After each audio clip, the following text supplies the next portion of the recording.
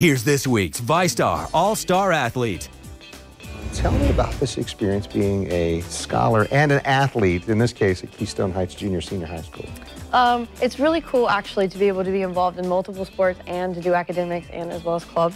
A lot of people at my school, since we live in such a small town, we we do multiple clubs, multiple sports, and we're very involved in the community. And it's really exciting to be a part of that. And most people in my community know who I am and the fact that I've got to help out at things and I got to meet so many new people, and it's really neat. Yeah, so uh, when, when I look down at your bio here, I see softball, basketball, golf. Is one of those have your heart more than another? Which one um, do you um, love? Softball used to be the love. I played that since T-ball. Um, that was just my all-time favorite. And I picked up golf in ninth grade. And it started to grow on me, and my team is really strong, and they really support me, and they're really good girls.